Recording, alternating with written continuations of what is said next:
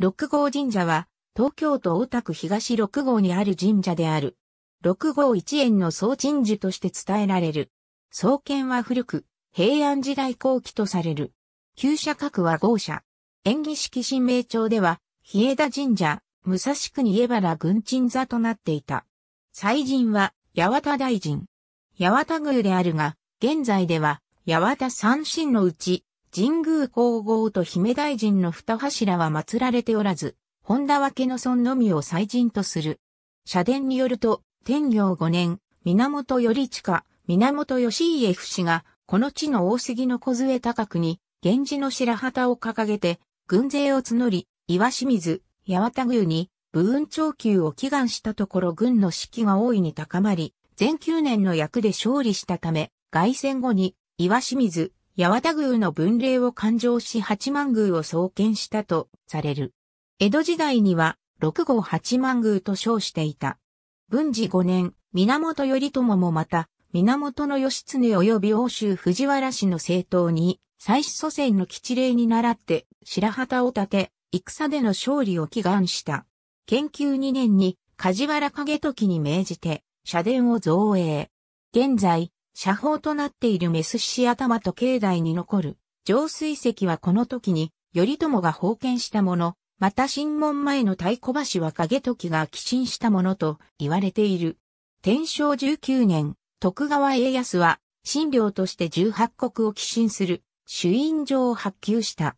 慶長5年、家康は、神社金号を流れる六号川に佳境を命じ、その竣工を祈って、願門を立て祭り、またこの神社のみこしによって、私初式を行ったと伝えられている。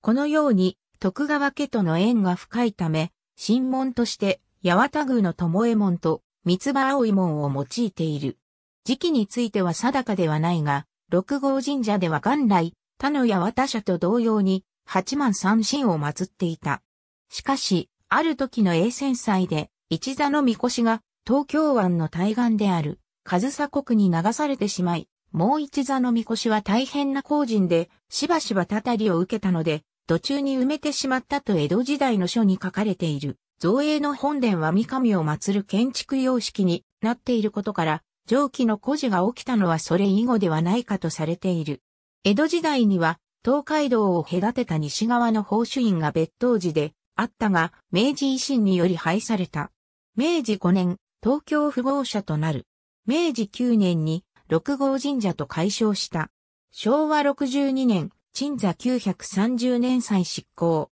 社殿新京境大社神楽殿毎年6月3日に行われ、6月の第1金曜日の神社新予選、お祭りでは、6号14町会約40基の神輿が次々と神社に担ぎ込まれ、御霊入れが行われる。翌土曜日には、数百年の伝統を持つ獅子舞の奉納が、神楽殿で行われ、上市巡行、六号林の奉納がある。翌日曜日、御神交祭で神輿に乗せた御神体が六号14町会を巡行し、クライマックスを迎える。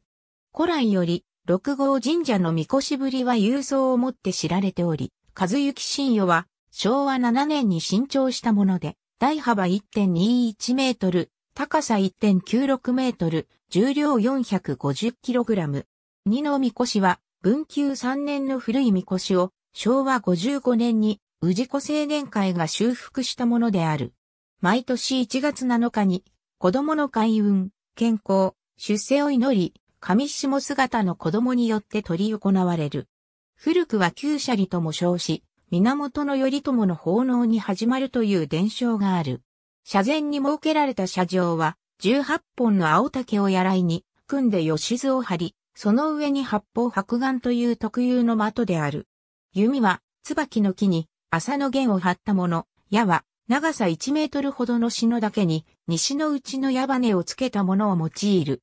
写真は、氏子の12歳以下の男児に限られ、いる順番は抽選によって決められる。1番手と2番手が矢を交差させ、3本の大きな見手蔵が立っている的の上を越すように入り、山越しが済むと3番手と4番手が1の目玉を5番手と6番手が2の目玉という具合に入り進む。